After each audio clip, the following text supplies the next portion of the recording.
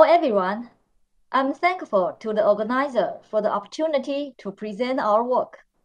On behalf of the National Research Institute of Chinese Medicine, I will talk about the development and the prospect of NRICM101, a novel anti-COVID-19 TCM therapy.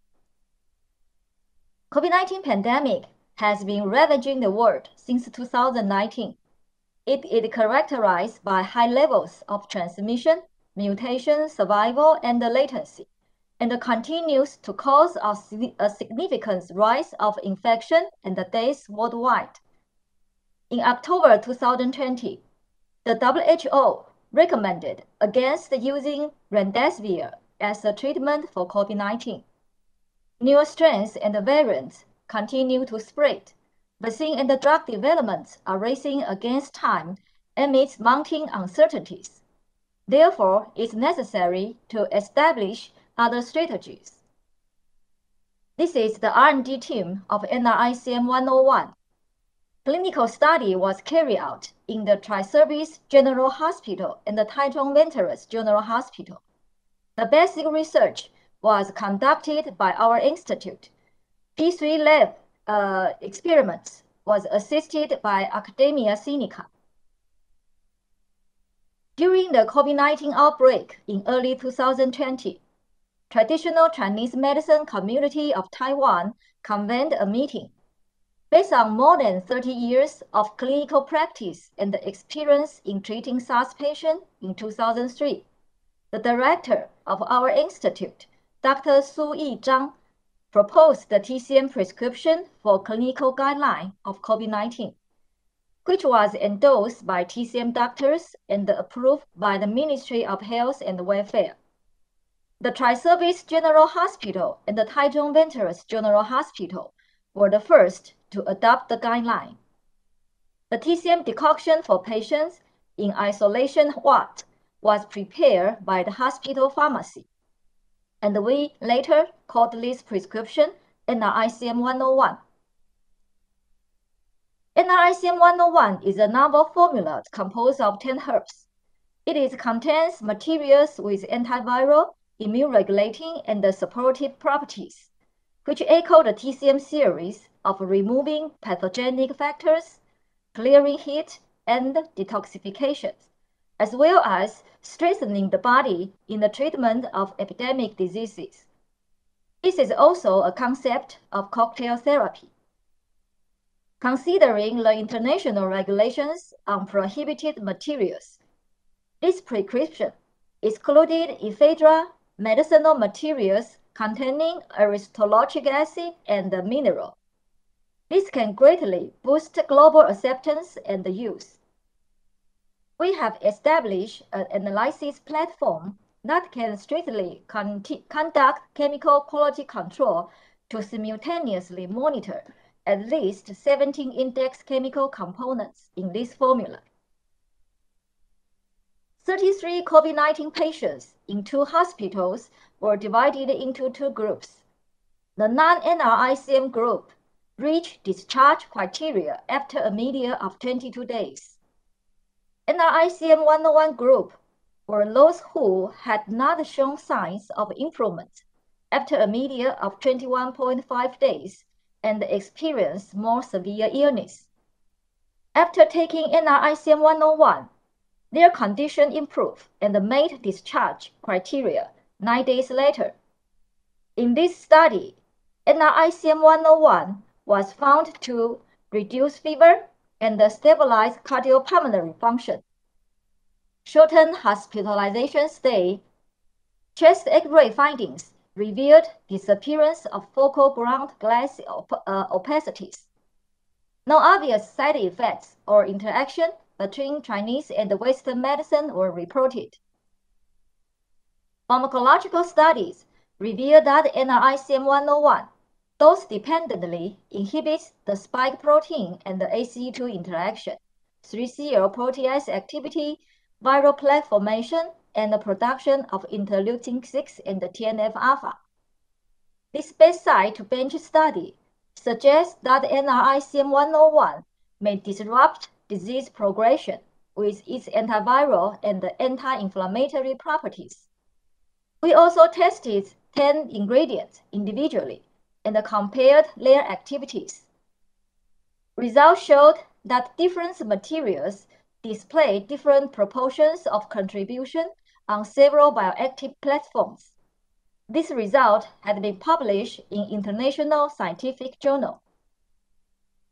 NRICM 101 has been licensed to eight GMP pharmaceutical companies in Taiwan and supplied to at least 40 countries. Authorized pharmaceuticals are fully equipped to ensure key materials supply and mass production. Emergency use authorization of NRICM 101 was granted in Taiwan to help combat the recent outbreak. Application target and marketing strategy. For example, Sun Ten Pharmaceutical Company obtained approval from Australia and Singapore to market NRICM 101 as an OCT drug. In the rest of the world, it is available as a dietary supplement. Taiwan considers NRICM 101 a prescription drug, as the majority of TCM items are regulated and managed as drugs.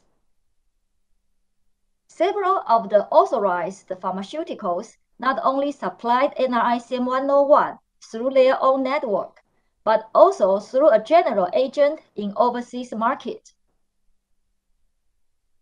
Mainland China introduced three TCM formulas that contained prohibited materials, such as ephedra and gypsum, and included too many ingredients.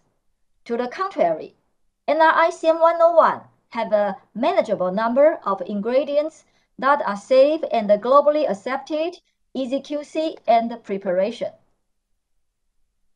Even though vaccine have been used around the world, the situation remains critical.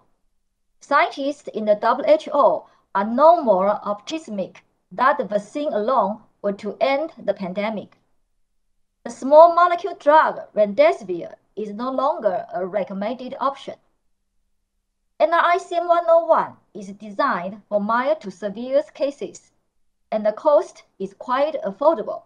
A 10-day regimen costs around 200 US dollars.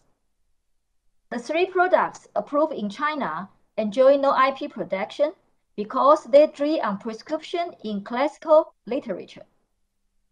Other herbal tea products in the market lacked scientific evidence uh, to claim any therapeutic effects. A multi-center observational research was launched soon after the outbreak in May.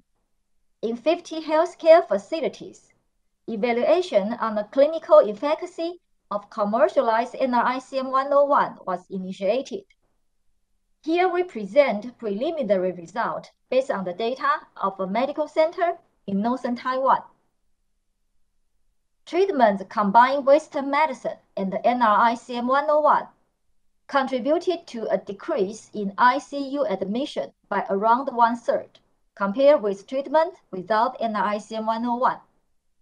Moreover, mortality of critical and severe cases was significantly reduced by 50%. In one of the quarantine centers, the percentage of people being referred to the hospital was lower in the NRICM 101 group.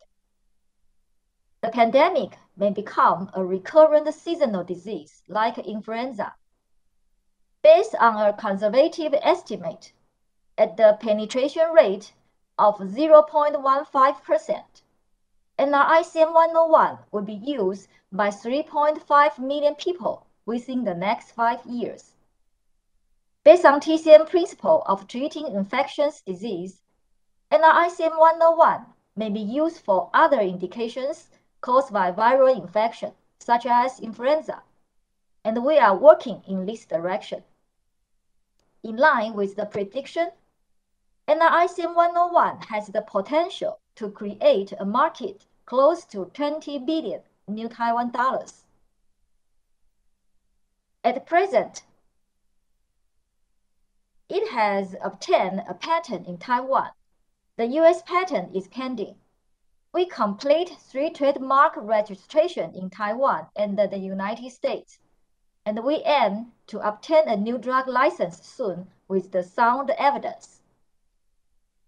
I conclude my presentation here. Thank you for your listening.